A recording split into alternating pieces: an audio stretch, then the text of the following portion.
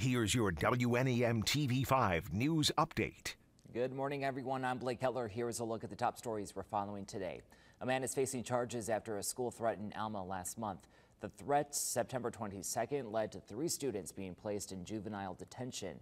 It also led to the search of an Alma residence where officers seized multiple firearms and ammunition. Tuesday, Gratiot County prosecutors announced the arraignment of 45-year-old Corey Woolsey. He's charged with felon in possession of a firearm and ammunition. His association with the detained students was not revealed. A judge has dismissed charges against seven people in the Flint water crisis scandal.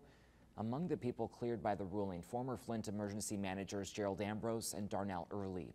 The decision does not affect former Governor Rick Snyder, whose case is being handled in a different court. Prosecutors say they will review Tuesday's ruling and stand by their commitment to exhaust all available legal options in this case. And the state secured a legal victory in the fight against the owners of the Edenville Dam. The U.S. District Court established several facts in the lawsuit coming from the May 2020 dam failure that drained Wixom Lake.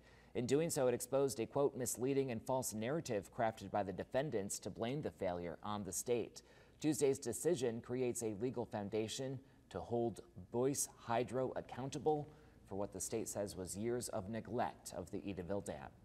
All right, here's John checking out your forecast for today. Thank you very much, Blake. Yeah, not too bad of a day coming your way. We do have another day of some mild temperatures, and I think this is going to be the warmest day we are going to have for the rest of the week. Low to mid 70s looking good. We will add some more clouds to our forecast by the afternoon. We'll call it partly to at times mostly cloudy. Southwest breeze will keep you right about 5 to 10 miles per hour into tonight. Not as cold as nights previous we've seen this week. I think some upper 40s near 50 looking good as we do go into your Thursday morning.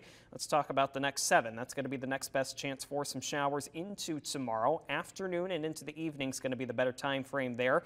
Temperatures starting warm, but we're going to be falling in the numbers throughout the day tomorrow and barely making it to 50 if we're lucky on Friday. But at least your weekend, that's going to be looking mainly dry. And we do warm up a little bit more into next week. Some sunshine returns Saturday, Sunday. Numbers back near 60 as we go into next week. And the First Warn 5 Weather Center, I'm meteorologist John Gross. Remember to tune into WNEM TV5 on air and online 24 7 for the latest news, weather, and information.